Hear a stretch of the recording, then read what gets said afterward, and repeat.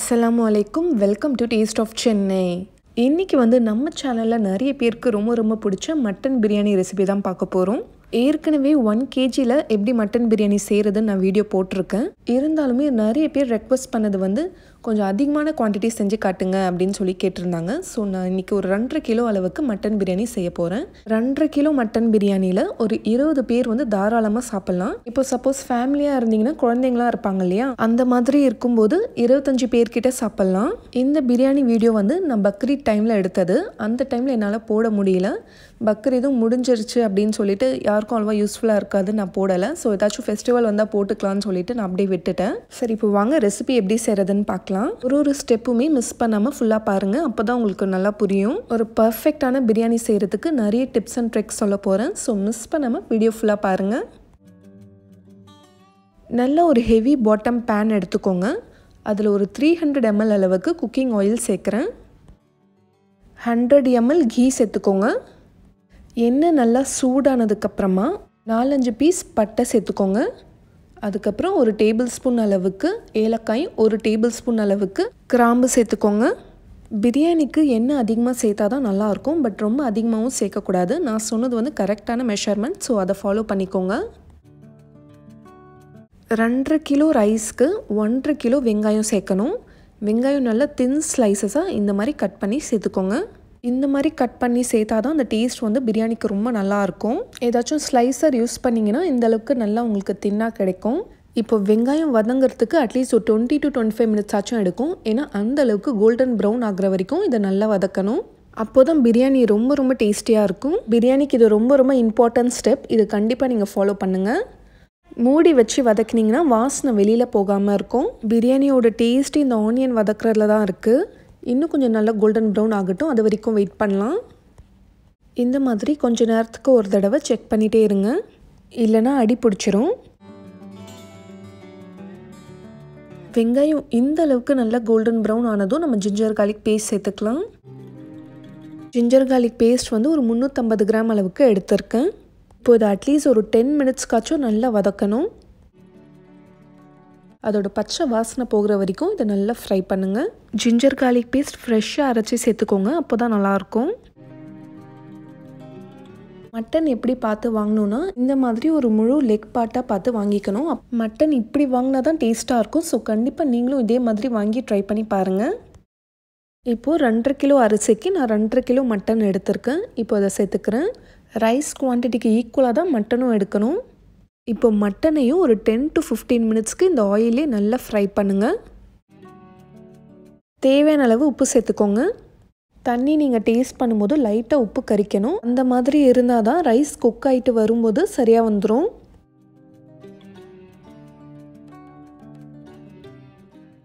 Mutton பாருங்கள் நல்லா fry ஆகி இந்த அளவுக்கு டார்க் ப்ரௌன் கலருக்கு வந்திருக்கணும். இப்போது இந்த ஸ்டேஜில் பச்சை மிளகா சேர்த்துக்கலாம். நான் ஒரு இருபத்தஞ்சி பீஸ் கிட்ட சேர்த்துருக்கேன். பச்சை மிளகாவோட டேஸ்ட்டு தான் பிரியாணிக்கு ரொம்ப சூப்பராக இருக்கும். ஒரு கட்டு புதினா ஒரு கட்டு கொத்தமல்லி சேர்த்துக்கோங்க.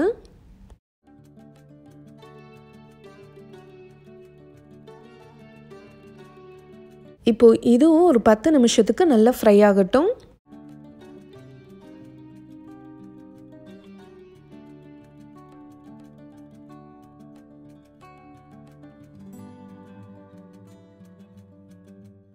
புதினாவும் கொத்தமல்லி நல்லா வதங்கினதுக்கப்புறமா இப்போ ஒரு கிலோ தக்காளி நான் கட் பண்ணி வச்சுருக்கேன். இப்போ அதை சேர்த்துக்கலாம். தக்காளி வந்து வெங்காயத்தோட கொஞ்சம் கம்மியாக சேர்க்கணும். தக்காளியும் நல்லா சாஃப்ட் ஆகிற வரைக்கும் ஒரு பதினஞ்சு நிமிஷத்துக்கு இதை நல்லா வதக்கிக்கோங்க.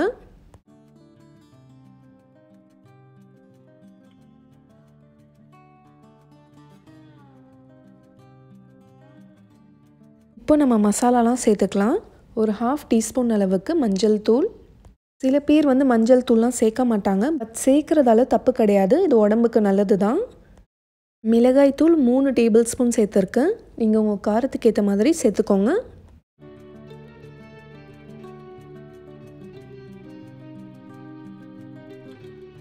மல்லித்தூள் ரெண்டு டேபிள் ஸ்பூன்.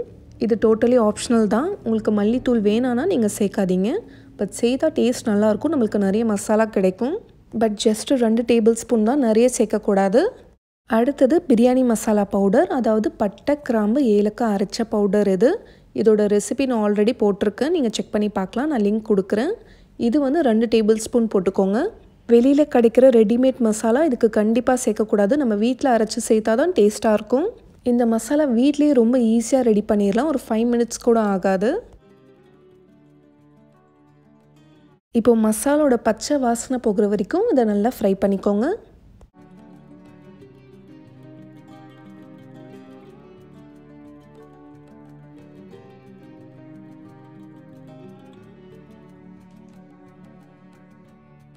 இப்போ மசாலாவில் எண்ணெய் இந்த மாதிரி நல்லா பிரிஞ்சு வரணும். ஒரு ஹாஃப் கேஜி அளவுக்கு தயிர் சேர்த்துக்கலாம். இப்போது இதை நல்லா மிக்ஸ் பண்ணி விட்டுருங்க.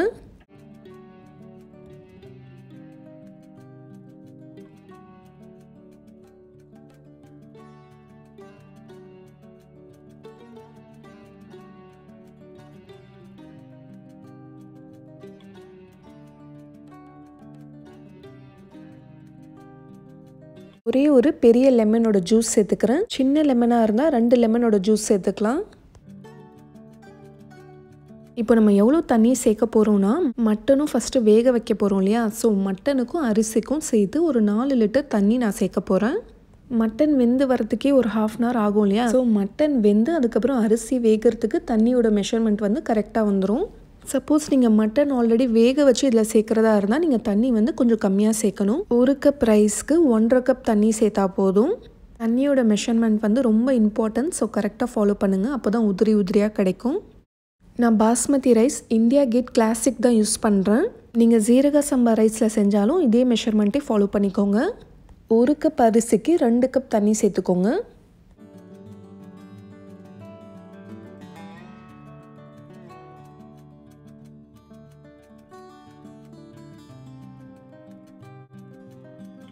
இப்போது இதை நல்லா ஒரு வாட்டி மிக்ஸ் பண்ணி விட்டுட்டு மூடி வச்சுருங்க.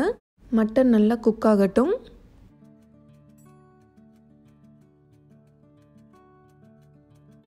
இப்போது ஒரு ஹாஃப் அன் ஹவருக்கு அப்புறம் நான் செக் பண்ணுறேன் சில மட்டன் வந்து சீக்கிரமாக வெந்துடும் சில மட்டன் வேகிறதுக்கு டைம் எடுக்கும். இப்போ மட்டன் வெந்துருச்சான்னு செக் பண்ணலாம். இப்போவே எங்கள் வீடு ஃபுல்லாக செம்ம வாசனையாக இருக்குங்க.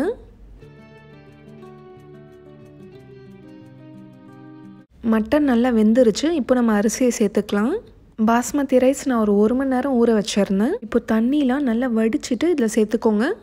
இந்த பிரியாணி போட்டு எங்கே வாங்கினீங்க அப்படின்னு சொல்லிட்டு நிறைய பேர் என்னோடய ஈத் விலாக்லேயே கேட்டிருந்தீங்க.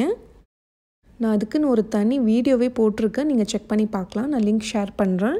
நான் ஃப்ளேம் வந்து மீடியம் டு ஹை ஃப்ளேமில் தான் வச்சுருக்கேன். இப்போ இது பொறுமையாக நல்லா மிக்ஸ் பண்ணி விட்டுட்டு மூடி வச்சிடலாம். உப்புலாம் கரெக்டாக இருக்கான்னு செக் பண்ணிக்கோங்க. ரொம்ப ஈஸியஸ்ட் மெத்தட் இது தான் பிரியாணிக்கு நீங்கள் அரிசி வடிச்சிட்டு கூட நீங்கள் மசாலாவில் சேர்க்கலாம். அந்த மெத்தடில் செய்கிற ரெசிபி நான் ஆல்ரெடி நம்ம சேனலில் போட்டிருக்கேன். ரம்ஜான் பிரியாணின்னு சொல்லிட்டு. அதோட லிங்க்கும் நான் ஷேர் பண்ணுறேன் செக் பண்ணி பார்த்துக்கோங்க. இப்போ மூடி வச்சிடலாம் ஒரு பத்து நிமிஷத்துக்கு அப்புறம் பார்க்கலாம். பிரியாணிக்கு செய்கிற எல்லா சைட் டிஷ்ஷும் ஆல்ரெடி நம்ம சேனலில் போட்டிருக்கேன். கத்திரிக்காய் பச்சடி வெங்காய பச்சடி தால்ச்சா சிக்கன் சிக்ஸ்டி ஃபைவ் அதுக்கப்புறம் ஸ்வீட் நிறைய போட்டிருக்கேன். எல்லா லிங்க்கும் நான் டிஸ்கிரிப்ஷன் பாக்ஸில் கொடுக்குறேன். நீங்கள் செக் பண்ணி பார்த்துக்கோங்க. நான் இது வரைக்கும் போட்ட எல்லா பிரியாணி வீடியோக்கும் நீங்கள் எல்லாருமே நல்லா சப்போர்ட் பண்ணியிருக்கீங்க. எனக்கு ரொம்ப ஹாப்பி எல்லாருக்குமே நான் ரொம்ப தேங்க்ஸ் சொல்லிக்கிறேன். இப்போது டென் மினிட்ஸ்க்கு அப்புறம் ஓப்பன் பண்ணி பார்க்குறேன் இப்போது இது ஒரு வாட்டி மிக்ஸ் பண்ணி விட்டுட்டு நல்லா லெவல் பண்ணி விட்டுருங்க. இப்போ நம்ம தம்மில் போட்டுடலாம்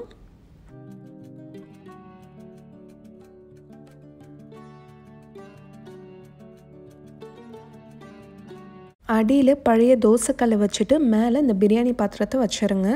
இந்த பாட்க்கு மேலே ஒரு வெயிட்டான பாத்திரத்தில் நல்லா தண்ணி பிடிச்சி மேலே வச்சுருங்க. ஃபஸ்ட்டு ஒரு five to ten minutes high ஃப்ளேம்லேயும் fifteen மினிட்ஸ்க்கு லோ ஃப்ளேம்லேயும் வைக்கணும். அதுக்கப்புறம் சுவிட்ச் ஆஃப் பண்ணிடுங்க அது வரைக்கும் இது டிஸ்டர்ப் பண்ணவே கூடாது. அப்படியே தம்லேயே இருக்கட்டும். ஒரு ஹாஃப் அன் ஹவர்க்கு அப்புறம் ஓப்பன் பண்ணி பார்க்கலாம்.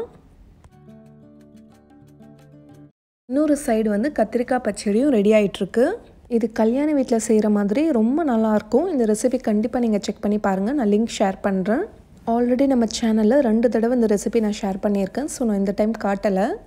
இப்போ பிரியாணி நல்லா தம்மாய் நல்ல வாசனை வந்துகிட்டே இருக்குது இப்போ ஓப்பன் பண்ணி பார்த்துடலாம் தம்மாய் கேஸ் ஆஃப் பண்ணதுக்கப்புறமா கரெக்டாக ஒரு ஹாஃப் அன் ஹவருக்கு அப்புறம் நான் ஓப்பன் பண்ணுறேன் வாவ் ரொம்ப சூப்பராக வந்திருக்கு.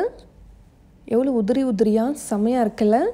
நான் சொன்ன டிப்ஸ் அண்ட் ட்ரிக்ஸ் வச்சு நீங்களும் இதே மாதிரி செஞ்சு பாருங்கள் உங்களுக்கும் இதே மாதிரி ஒரு பர்ஃபெக்டான பிரியாணி கண்டிப்பாக கிடைக்கும். உங்கள் வீட்டு ஸ்பெஷல் அக்கேஷன்ஸில் நீங்களும் இதே மாதிரி செஞ்சு எல்லாருமே அசத்துங்க கண்டிப்பாக எல்லாருமே உங்களை பாராட்டுவாங்க. இந்த வீடியோ உங்களுக்கு ரொம்ப யூஸ்ஃபுல்லாக இருந்துச்சுன்னா உங்களோட ஃப்ரெண்ட்ஸ் அண்ட் ஃபேமிலி எல்லாருக்குமே ஷேர் பண்ணிக்கோங்க. இப்போ சுட சுட மட்டன் பிரியாணி நாங்கள் எல்லாருமே ரொம்ப என்ஜாய் பண்ணி சாப்பிட போகிறோம் இப்போ வாங்க சர்வ் பண்ணிடலாம். பிரியாணி நல்லா ஆவி பறக்க பறக்க இருக்குது அதுவும் வாழை இலையில் சாப்பிடும்போது அதோட டேஸ்ட் இன்னும் வேறு லெவலில் இருக்கும். இது பார்க்கும்போது எல்லாருக்குமே கண்டிப்பாக மவுத் வாட்ரிங்காக இருக்கும்னு தெரியும். ஸோ உடனே நீங்களும் உங்கள் வீட்டில் ட்ரை பண்ணிடுங்க